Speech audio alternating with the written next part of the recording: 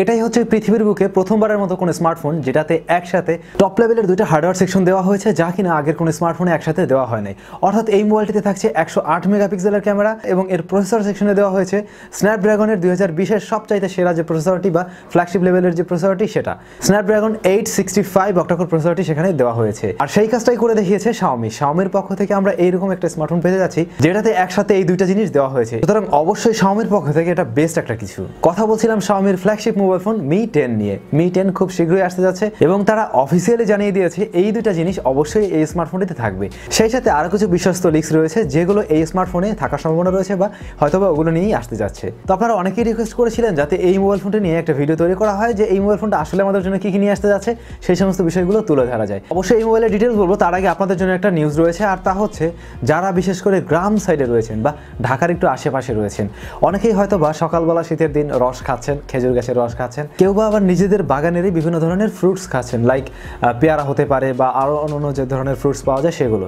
তো কেন এই বিষয়টা তুলে ধরলাম? বর্তমানে কিন্তু নিভাহ ভাইরাস নিয়ে খুব ঝামেলা চলছে বা সেই ভাইরাসটা বাংলাদেশে কিন্তু প্রকাট আকারে ছড়িয়ে পড়ছে।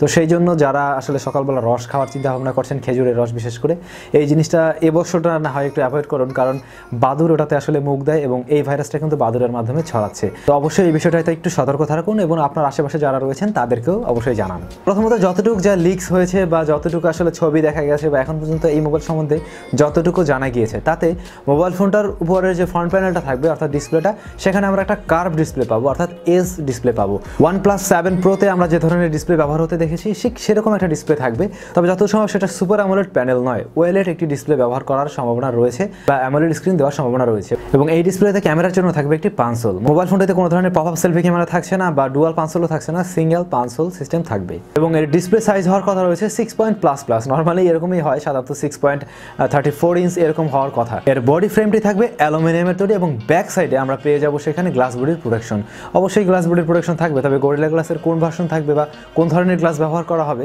সে বিষয়ে এখনও নিশ্চিত নয়। ব্যাক সাইডে লেফট কর্নারে কোয়াড ক্যামেরা সেট থাকবে, যেখানে চারটি ক্যামেরা থাকবে এবং এর প্রধান লেন্সটি হচ্ছে একশো আট মেগাপিক্সেলের যেটা কিনা স্যামসাং এর সেন্সর এর ক্যামেরা সেট আর এমআই মিক্স আলফার যে ক্যামেরা সেট অলমোস্ট সেম বা মেইন যে সেন্সরটা একশো আট, সেটা কিন্তু হুবহু সেম সেন্সরই দেওয়া হচ্ছে। এরপরে যে আরও তিনটা লেন্স রয়েছে, তার মেগাপিক্সেল সম্বন্ধে আমরা একেবারে নিশ্চিত নই, তবে সেখানে যে ধরনের লেন্সের ভেরিয়েন্ট থাকার কথা রয়েছে বা যতটুকু জানা গিয়েছে, তাতে সেখানে থাকবে একটি আলট্রাওয়াইড লেন্স তার সাথে থাকবে একটি ম্যাক্রো লেন্স এবং অন্য একটি টেলিফটো লেন্সও থাকবে। তো এই চারটা লেন্সের ভেরিয়েন্ট আমরা ব্যাকসাইডে দেখতে পাবো। তো প্রসেসর নিয়ে যে বলছিলাম প্রসেসর সেকশনে কিন্তু আমরা স্ন্যাপড্রাগনের সবচেয়ে পাওয়ারফুল প্রসেসরটাই সেখানে পেয়ে যাচ্ছি। অর্থাৎ Snapdragon eight sixty five octacore প্রসেসরটি সেখানে দেওয়া হবে এবং যে প্রসেসরটা দুই হাজার বিশের ফ্ল্যাগশিপ লেভেলের ফোনগুলোতেই ব্যবহার হবে, এটা আমরা সবাই জানি। আর সেই ক্ষেত্রে সামনে সেই ভুলটা করেনি, তারাও কিন্তু সেই প্রসেসরটাই সেখানে ব্যবহার করছে। স্ন্যাপড্রাগন এইট ফিফটি ফাইভ প্লাসের পারফরমেন্স সম্বন্ধে আমরা জানি। তো অবশ্যই সেই প্রসেসরের চাইতে এই প্রসেসর পারফরমেন্স আরও অনেকটা গুণ বেশি থাকবে বা অবশ্যই ভালো কাজ করবে এবং আরও বেশি বেটার স্মুথ পারফরমেন্স সেখান থেকে পাওয়া সম্ভব হবে।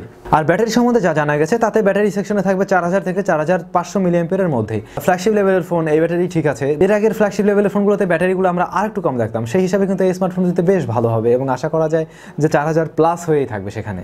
আর এই মোবাইলটি অবশ্যই ফাস্ট চার্জিং সাপোর্ট করবে, তবে কত ভার্সন সাপোর্ট করছে সেই বিষয়টা এখনও নিশ্চিত নয়। তবে এর যে প্রো ভেরিয়েন্ট যেটা রয়েছে, সেটাতে কিন্তু আবার ফাস্ট চার্জিং সিস্টেমটা আবার একটু বেশি থাকবে। সিক্সটি ফাইভ ওয়ার্ডের ফাস্ট চার্জিং সিস্টেম সেখানে ইউজ করা হবে এবং যেটা কিনা থার্টি ফাইভ মিনিটে ফুল চার্জ করা সম্ভব হবে। আর এই মোবাইল ফোনটিতেও ফিঙ্গারপ্রিন্ট সেন্সর হিসেবে দেওয়া হবে ইন ডিসপ্লে ফিঙ্গারপ্রিন্ট সেন্সর এই ফোন সম্বন্ধে এতটুকুই এখন পর্যন্ত মোটামুটি নিশ্চিত হয়ে বলা যায়। এর ভিতরে সবচেয়ে নিশ্চিত হচ্ছে এর ক্যামেরা সেকশন আর হচ্ছে গিয়ে এর প্রসেসর আর ডিসপ্লেটাও মোটামুটি। এই জিনিসগুলো মোটামুটি ধরে নেওয়া যায় যে এগুলো ঠিকঠাক আছে একেবারে। বাদ বাকিগুলো বিভিন্ন লিকেজের কারণে জানা গিয়েছে, তবে সেগুলো হান্ড্রেড পার্সেন্ট শিওর নয়, হতেও পারে, আবার কিছুটা চেঞ্জও থাকতে পারে। এরপরে পোকো ফোনের যে নিউজ পোকো ফোন সম্বন্ধে কয়েকদিন আগের একটা ভিডিওতে বললাম পোকো ফোন সম্বন্ধে আবার যতটুকু জানা গেল যে পোকো আসলে নিজেই আলাদাভাবে আসতে যাচ্ছে এবং এটা মোটামুটি কনফার্ম যে তারা শাওমির সাথে থেকে ওইভাবে আর আসতে যাচ্ছে না। তারা নিজেরাই একটা ইন্ডিপেন্ডেন্ট ব্র্যান্ড হয়ে ওইভাবে আসতে যাচ্ছে এবং জানা গিয়েছে যে পোকো এফ টু আসবে পোকো এফ টু লাইটও সেখানে আসার পসিবিলিটি রয়েছে বা এক নিয়েও মোটামুটি আসলে তোলপাড় চলছে যে লাইট ভার্সন একটা আসতে যাচ্ছে। তো এটুকুই ছিল আজকের টেক নিউজ মি টেন সম্বন্ধে যতটুকু যা জানা গিয়েছিল, যতটুকু ইন্টারনেট থেকে জানতে পারলাম, মোটামুটি সেটুকুই আপনাদের সাথে শেয়ার করলাম। এখন পর্যন্ত এইটুকুই আমার কাছে মনে হয়েছে অথেন্টিক তাই এটুকুই থাকুক, পরবর্তী ভিডিওতে আবার দেখা হবে। সবাই অনেক অনেক ভালো থাকুন, সুস্থ থাকুন।